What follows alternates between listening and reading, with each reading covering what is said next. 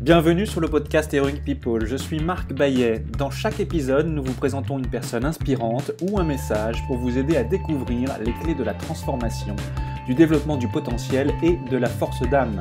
Nous apprenons les uns des autres et trouvons en soi le héros de notre propre vie. Partager nos convictions, partager nos vulnérabilités, dépasser nos peurs, se transformer pour pouvoir transformer le monde, agir ensemble. Jusqu'où peut-on aller? Merci de passer du temps avec nous aujourd'hui.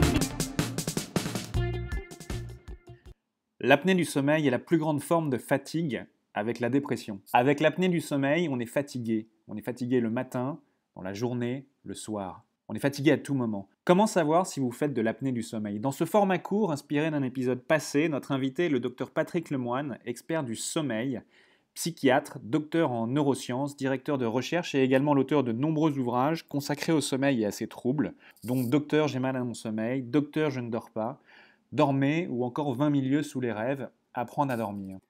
Docteur, bonjour. Il y a quelques années, je me réveillais le matin absolument épuisé. J'étais obligé de plus en plus de quitter mon travail au moment du déjeuner pour faire une sieste. Et puis j'ai découvert que je faisais de l'apnée du sommeil. L'apnée du sommeil, c'est sans doute avec la dépression la plus grande forme de fatigue chez l'adulte, et c'est quelque chose qui augmente avec l'âge. 9% des moins de 44 ans font de l'apnée du sommeil. Quand on passe le stade des 45 ans, et ce jusqu'à 65 ans, c'est 20% qui font de l'apnée du sommeil, 20% de cette tranche d'âge. Et au-delà de 65 ans, c'est 31% de la population qui fait de l'apnée du sommeil. Ce sont des chiffres qui sont sans doute sous-estimés parce que de nombreuses personnes ne savent pas elles-mêmes qu'elles font de l'apnée du sommeil. Les conséquences de l'apnée du sommeil peuvent être euh, très importantes à terme. Quelles sont les conséquences de l'apnée du sommeil et comment savoir si on fait de l'apnée du sommeil? L'apnée du sommeil veut dire infarctus, veut dire AVC, veut dire Alzheimer, euh, veut dire trouble du rythme cardiaque, arrêt cardiaque, etc. On est plus en forme, on est mieux réveillé, on a une meilleure puissance sexuelle quand on n'a pas d'apnée, mais c'est surtout préventif de tous les ennuis que je vous ai décrits. Donc c'est essentiel de demander au compagnon ou à la compagne de lit, est-ce que je ronfle? Si oui, est-ce que j'arrête de respirer et qu'à la fin de mes apnées, je très très fort, parce que ça, ça signe les apnées, et là, il faut absolument agir, c'est hyper dangereux, et en plus, plus le temps passe, plus on a d'apnée. Pourquoi? Parce que nos ancêtres, ils avaient une viande très dure. Quand on était cro-magnon, ben, la viande de ou de mammouth, c'était vachement dur, euh, on la, on la cuisait pas beaucoup. Et puis plus ça va, ben, plus on va vers la viande hachée, vers des aliments mous. Donc moins nos muscles de mâchoire sont développés, plus notre menton est en arrière et plus on fait d'apnée. Si ça se trouve, dans 100 ans, on aura tous un appareil. Il y a un lien entre le fait de faire du surpoids et le fait de faire de l'apnée du sommeil. Mais tout le monde ne fait pas de surpoids. Certaines personnes sont très minces, très maigres. Qu'en est-il pour ces personnes-là?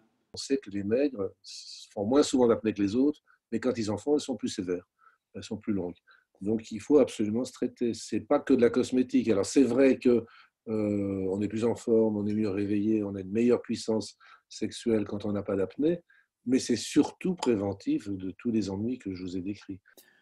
Donc si je fais de l'apnée du sommeil aujourd'hui et que je suis traité, je réduis pour plus tard mon risque d'infarctus, d'AVC, d'Alzheimer, de troubles du rythme cardiaque ou encore d'arrêt cardiaque. J'ai le sentiment qu'il y a beaucoup de personnes qui en font, mais qui ne le savent pas. Qu'est-ce que vous diriez à quelqu'un euh, qui se pose la question euh, de savoir si elle fait de l'apnée ou pas, mais elle n'a pas les éléments de réponse Il y a deux signes qui sont typiques.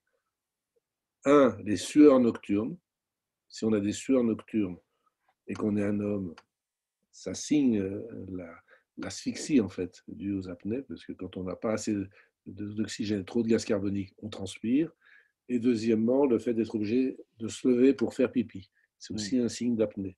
On voit que les apnées, ça peut avoir des signes qu'on peut repérer tout seul. Alors bien sûr, le diagnostic différentiel pour les femmes, c'est la ménopause qui peut donner des sueurs nocturnes, et pour les hommes, c'est la prostate.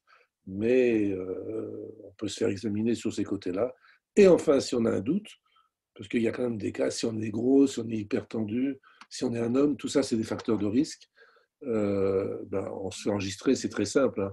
Il suffit de voir un pneumologue qui vous prête un petit appareil qui est comme une montre bracelet avec un doigtier, et puis euh, ça permet de faire le dépistage de manière très simple à la maison.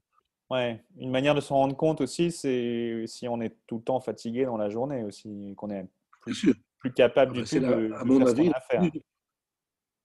selon moi, c'est la plus grande cause de fatigue euh, chez l'adulte. C'est la plus grande cause de fatigue, l'autre étant la dépression.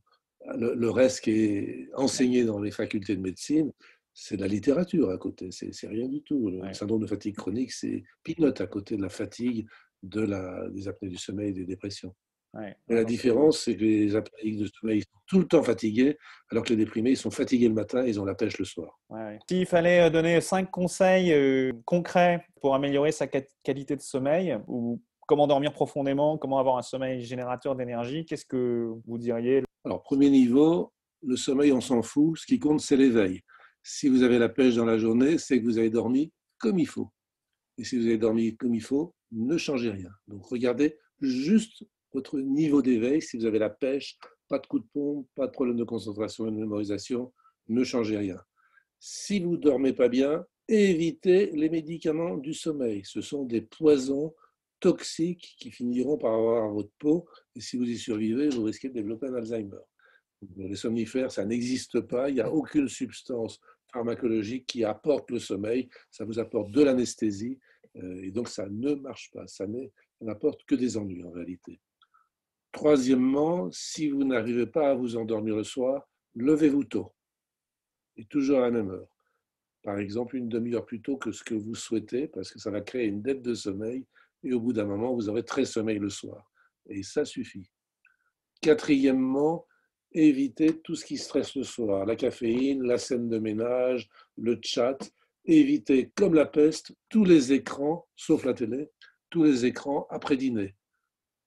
Pas de mail, pas d'ordinateur, pas de tablette, pas de téléphone, pas d'objet connecté dans la chambre. Et cinquièmement, eh bien, soyez à cheval sur vos rythmes.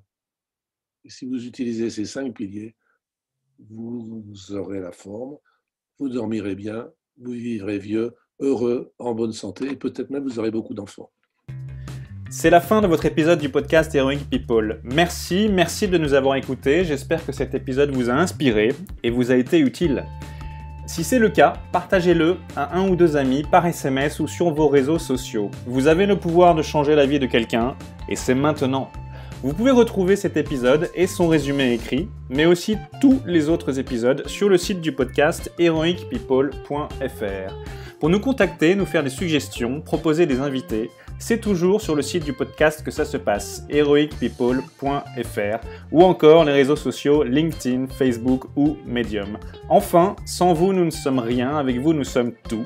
Si vous avez été inspiré par cet épisode, alors laissez-nous un commentaire et quelques étoiles sur Apple Podcasts ou votre plateforme d'écoute préférée.